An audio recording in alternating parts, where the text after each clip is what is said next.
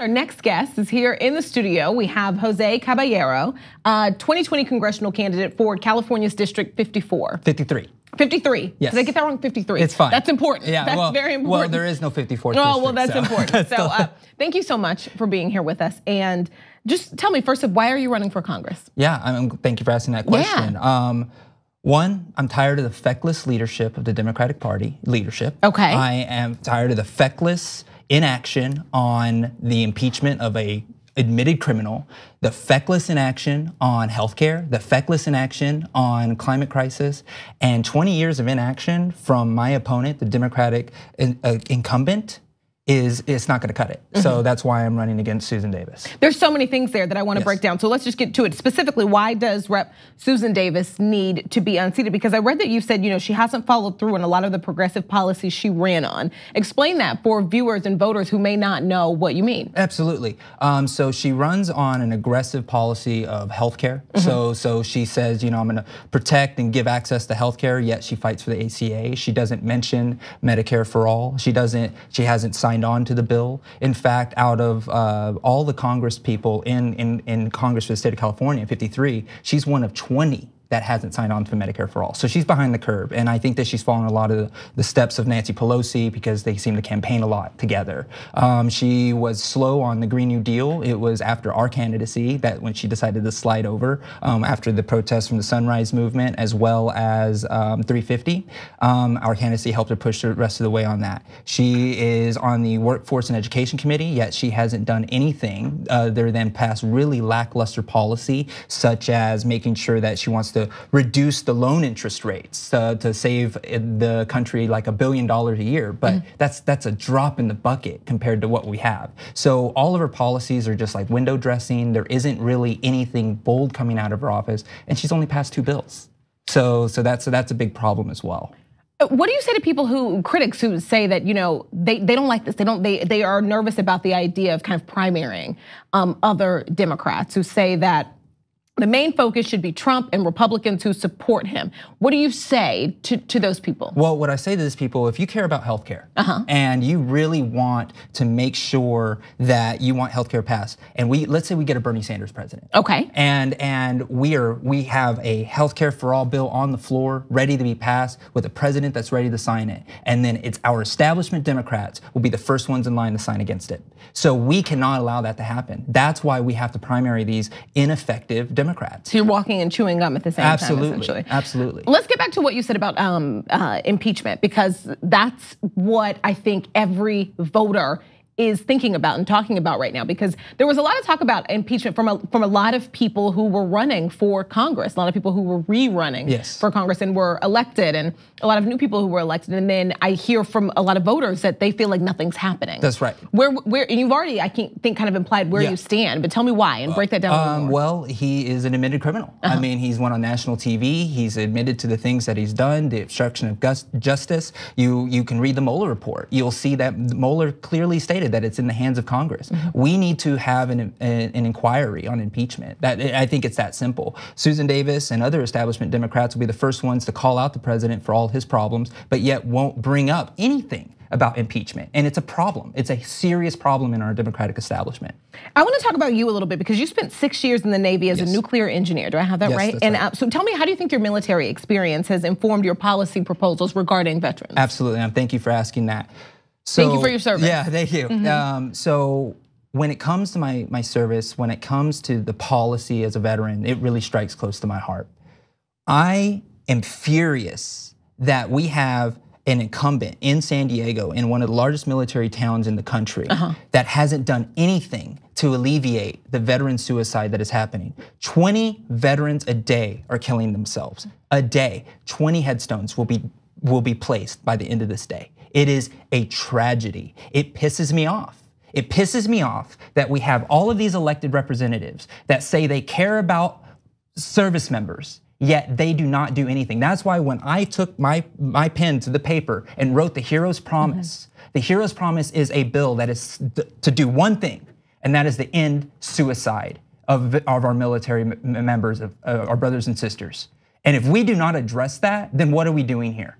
What are we doing here? Because we lose too many lives. So go to my website, joseforcongress.us uh, slash heroes promise, and take a look and see the policies that we're putting not only on the active duty side, but also the veteran side. It is the progressive message. That's what we need to do.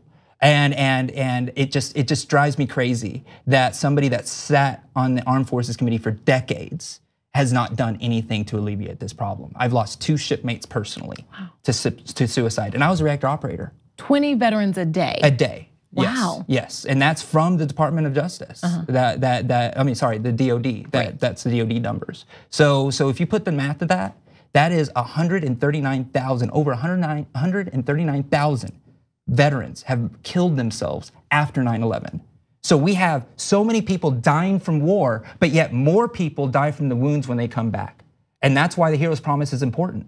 That's why we're going to be pushing this policy forward. And we're leading on this. And we need more progressive veterans to push these policies forward to tell the truth of what's going on. Because it's not about bombs, it's not about planes, it's not about ships, it's about the people that are serving. They're the ones that are putting their lives on the line, giving the ultimate sacrifice. The least we can do is promise them a safe journey home.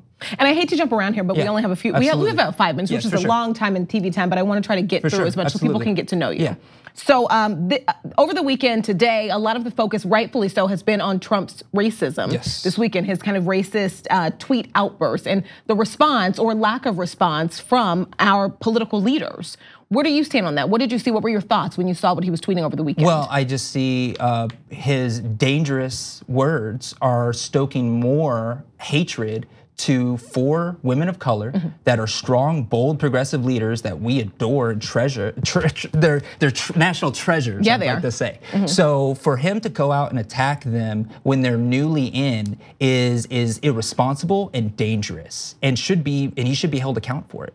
Absolutely, he should be held account for it. So so yeah, I think he should be condemned, and no one should allow that to happen. So.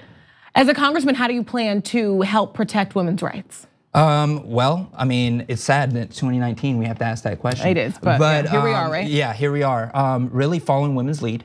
Uh, as a man, I have to say, following the strong women that push those policies forward and standing and voting by their side, standing in solidarity. I mean, that's as much as I can say about protecting women's rights. Obviously, a, a woman's right to choose should be should be uh, maintained. Absolutely.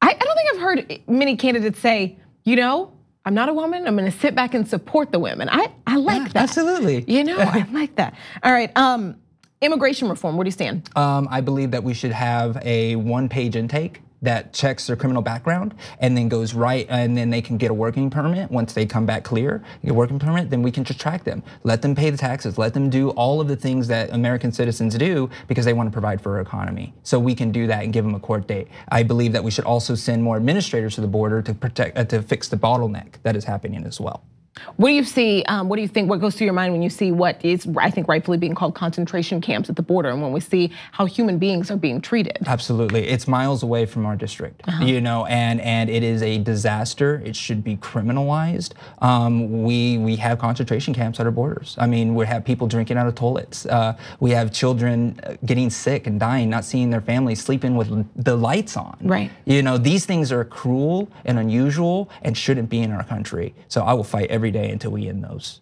For sure. One of the most popular policies right now from presidential candidates student loan debt forgiveness. Yes. I have been for it since I've announced my candidacy. Um, we need to have that. I have student debt myself as a veteran because I decided to get higher education. So it's a big problem. And so I'm for the cancellation of student debt and for, and education for all, 100%. Yeah. So so yeah, um, I do want to say though, um, as as a as a leader of, of you know running here in, in San Diego, we have already started building a coalition called the Progressive Wave. Mm-hmm. These Progressive Wave are candidates that have signed on to the, the TYT Progressive Economic Pledge, have uh, running against Democratic incumbents, and are are standing up for policy like the Heroes Promise.